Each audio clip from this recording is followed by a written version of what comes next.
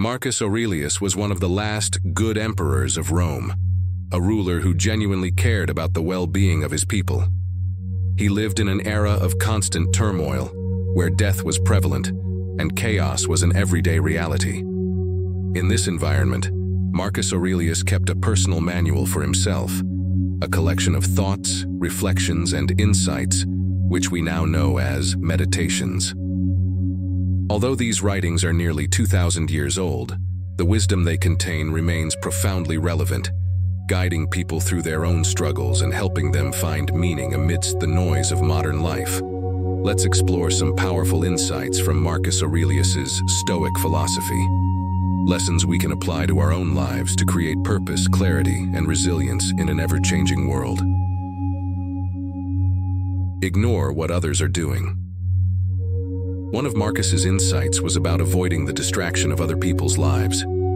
He advised, do not waste what remains of your life in speculating about your neighbors. Anything that distracts you from fidelity to the ruler within you means a loss of opportunity for some other task. In other words, our time is incredibly limited, so why waste precious energy on what others are doing, thinking, or saying? Why do we often obsess over others' opinions or try to keep up with their achievements? According to Stoic philosophy, our primary focus should be our own life and purpose, undistracted by external comparisons. In today's world, social media amplifies this distraction. We spend hours scrolling, checking up on people, feeling envious or inadequate when we compare ourselves to others' carefully curated lives. This obsession can leave us frustrated, questioning why we're not as successful or happy as our peers. Marcus Aurelius's advice is clear. Ignore the noise and redirect that energy toward what's genuinely important. To put this into practice, try this simple experiment. Uninstall all social media apps from your phone for a week. Don't check Facebook, Instagram, or any other network. This isn't about ignoring your friends and family, but about reclaiming your time, energy, and mental space. Use this break to focus on your goals, whether that means working on a creative project, spending time with loved ones, or simply engaging with the present moment. Notice how freeing it can be to silence the noise, feel less envious, and become more attuned to your own life. Your reality is made by your opinions. Marcus Aurelius tells us, life is but what you deem it.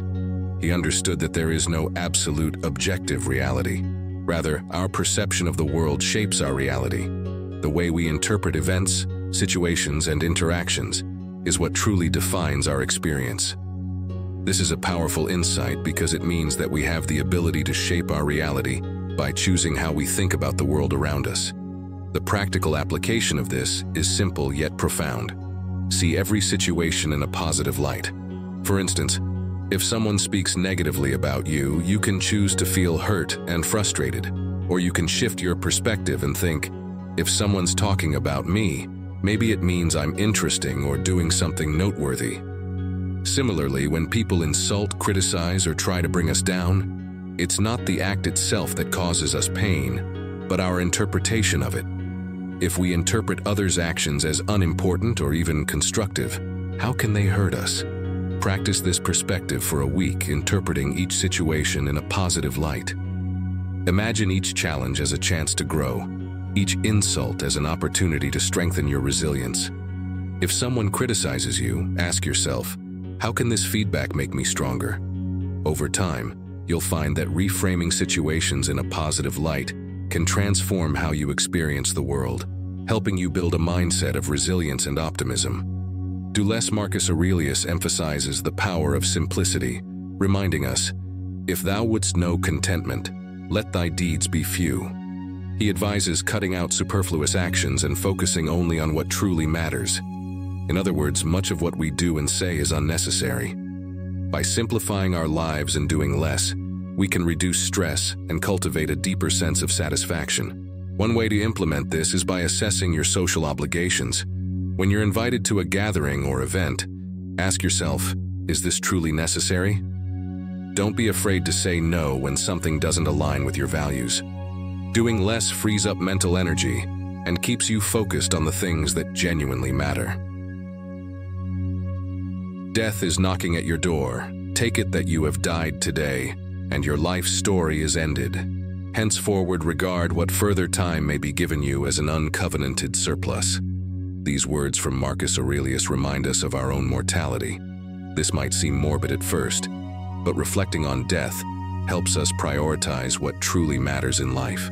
Think about people who receive a terminal diagnosis. They often make immediate changes, dropping unfulfilling habits and focusing only on what brings them joy and meaning. Why wait for a wake-up call when we can adopt this mindset now? When we understand that life is limited, we stop wasting time on passive entertainment or trivial distractions. Instead, we dive into our passions, work on meaningful projects, and spend time with loved ones. Reminding ourselves of death sharpens our focus, helping us avoid superfluous activities and embrace what's important. Today, imagine it's your last day. What would you do? Who would you spend time with, and what activities would you avoid? What words would you share with those you love? Let this exercise guide your actions, reminding you to live fully and intentionally every day, for one day, it will indeed be your last. You're stronger than you think. When facing challenges, remember these words from Marcus Aurelius. How lucky I am that it has left me with no bitterness, unshaken by the present, and undismayed by the future. The thing could have happened to anyone, but not everyone would have emerged unembittered. This reminder speaks to our inner strength. Life throws hardships our way, but Stoicism teaches us to view these challenges as opportunities to grow stronger. If we want to build resilience, we need to change how we interpret adversity. Imagine yourself as a warrior, with every hardship as a test of your strength. Like a boxer preparing for a match, life's challenges serve as training for our character. Visualize yourself as unbreakable, wearing an armor that protects you from the arrows of others' criticism and judgment. Whenever someone tries to hurt you, remind yourself, I am strong enough to handle this. Even if a situation would break someone else, it hasn't broken you. This mental shift empowers you, allowing you to see yourself as resilient and capable in the face of life's obstacles. You are rising for the work of humankind. Marcus Aurelius writes, A man's true delight is to do the things he was made for. This prompts us to consider our gifts and how we can use them to contribute to the world. We each have unique talents and strengths, whether that's a skill for teaching, creating art, empowering others, or making the world a more beautiful place.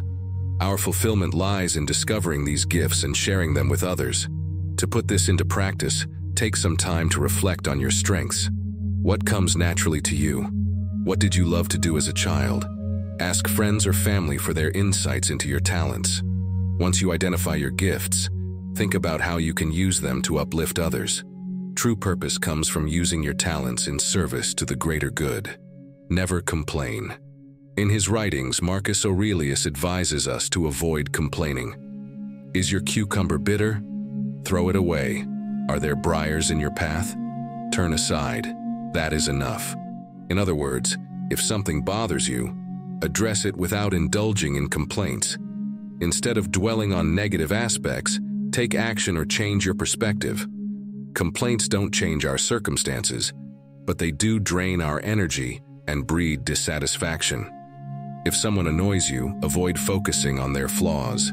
Unfollow them on social media if you must, or limit interactions. If you're unhappy with your job, seek ways to make it more tolerable or explore other options. Life will always have challenges, but we can choose how we respond. Instead of complaining about a lack of time, money, or energy, think about how you can make the best of what you have.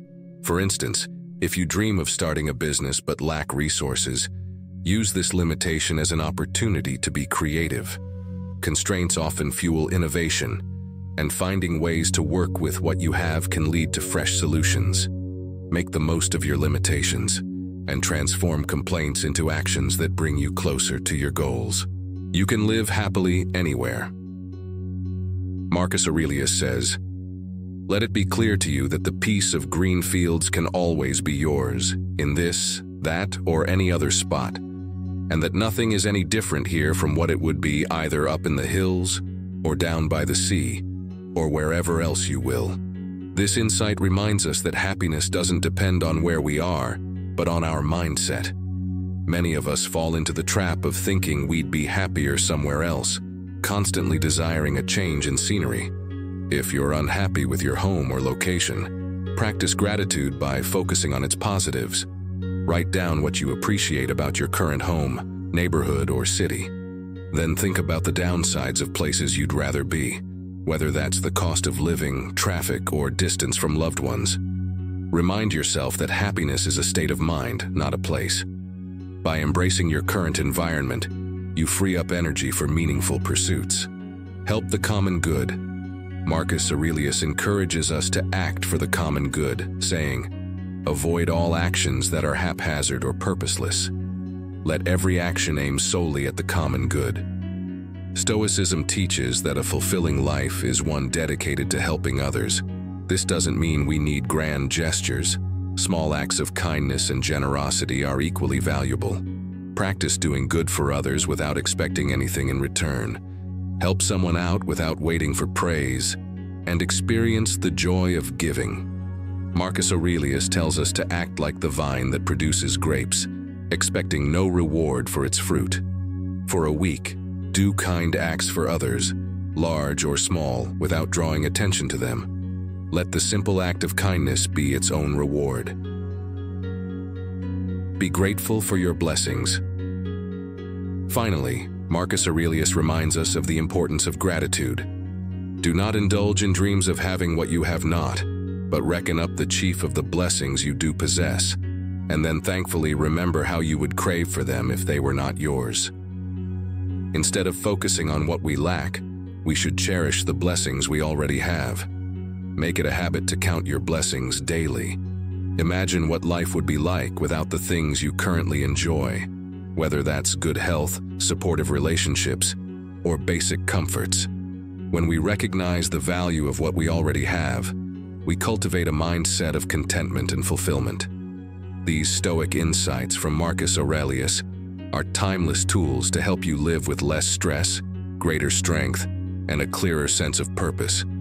By integrating these principles into your life, you can build resilience, live with intention, and focus on what truly matters. Remember, life is short. Embrace each day fully, focus on your purpose, and let go of what doesn't serve you. Thank you for joining us in this exploration of Stoic wisdom. If you found value in these insights, Please like, share, and subscribe to our channel for more content on Stoicism and personal development.